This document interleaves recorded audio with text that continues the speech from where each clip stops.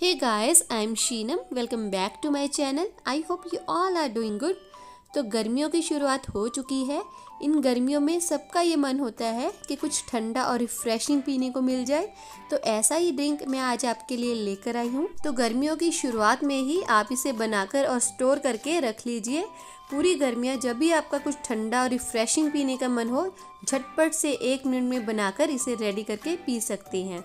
Video पसंद आए तो वीडियो को लाइक और चैनल को सब्सक्राइब करना बिल्कुल मत भूलिए और बेल आइकन दबाना भी बिल्कुल मत भूलिए ताकि मेरी वीडियो की नोटिफिकेशन आप तक पहुँच सके। तो यहाँ पर शरबत बनाने के लिए मैंने सबसे पहले एक कप पुदीने के पत्ते लिए हैं। इनको अच्छे से धो लिया है ताकि मिट्टी वगैरह सब निकल जाए। एक ब्लेंडर जार में डालेंगे और इसमें डालेंगे एक चौथाई कप पानी और इसको पीस कर इसका महीन पेस्ट बना लेंगे। तो यहाँ पर हमारे पास बहुत ही अच्छा पुदीने के पत्तों का पेस्ट बन के रेडी हो चुका है। अगर आपको बहुत ही फाइन पेस्ट चाहिए तो आप इसे छान भी सकते हैं। एक आधा पत्ता इसमें अगर रह भी जाता है, शरबत बनाते हैं, मुँह में आता है तो बहुत अच्छा टेस्ट देता है। एज इट इज़ भी आप इसे यूज़ कर सकते हैं। तो एक पैन लिया है, इसमें डालेंगे एक कप चीनी का। जितनी चीनी ली है, उतना ही हम इसमें डालेंगे पानी, यानी कि एक कप पानी डालेंगे। धीमी आँच पे इसे पकने के लिए रख देंगे। साथ साथ इसे चलाते भी रहेंगे ताकि चीनी तले पे ना चिपके। जब आधी चीनी पिघल जाएगी, फिर इसमें डालेंगे हम जो हमने पुदीने के पत्तों का पेस्ट बनाया था। तो ये पुदीने के पत्तों का पेस्ट यहाँ पर मैंने डाल दिया है। फिर हम इसको दो से तीन मिनट और पकाएँगे। धीमी आँच पे ही लगातार चलाते हुए। तो दो से तीन मिनट इसे पकाते हुए हो चुके हैं।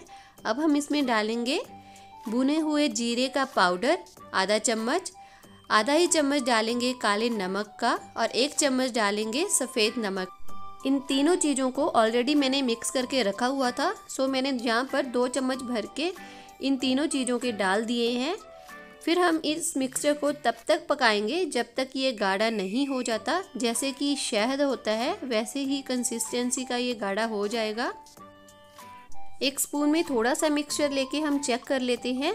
थोड़ा सा ठंडा होने देते हैं, फिर ही हम इसे टच करेंगे। तो ये यहाँ पर ये चिपचिपा सा लग रहा है। एक तार नहीं बन रही है तो ये परफेक्ट कंसिस्टेंसी है। तो हमें ऐसा ही मिक्सचर चाहिए। तो अभी हम फ्लेम को कर देंगे बंद और इसे थोड़ा सा ठंडा होने के लिए रख देंगे। ठंडा होने के बाद ही हम बाकी की चीज़ें इसमें मिक्स करेंगे। तो यहाँ पर मैंने एक चम्मच डाला है अमचूर का भर के और दो से तीन बड़े नींबू का रस डाला है यहाँ पर।